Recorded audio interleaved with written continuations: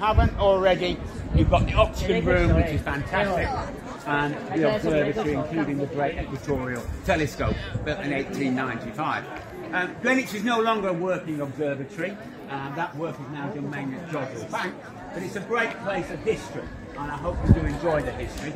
And if you've got any questions after this, I know all eyes are on the time ball. I'd be happy to, to answer them and give you some tips about what to see.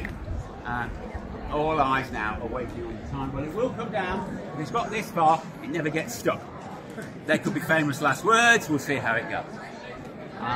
When you've taken your pictures, I will explain that you're also members of an exclusive club. But let's wait and see. Okay? The eyes of the world now on the ball. Uh, people locally, I live locally, still use this if they want to set their clock. So it does have some limited uses, but the ships have long gone.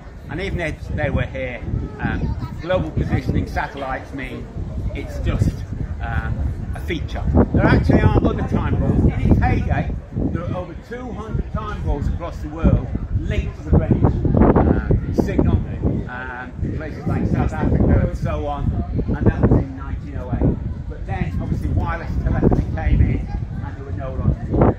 The remaining time balls, was one in Melbourne, there's one in Dover, the one o'clock gun, see it's the same purpose, in Edinburgh. So there's still some tradition and some history behind it, it's not necessarily edge science. Okay? Any second now, I hope. Everyone's got their watches to hand or phones. Reasonable photographs. Just wait a few moments. Yep. There we go. Okay, I hope you're all very good picture.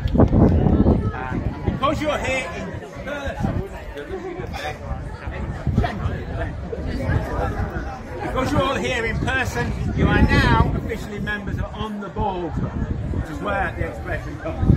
Okay, thank you very much. If you want to know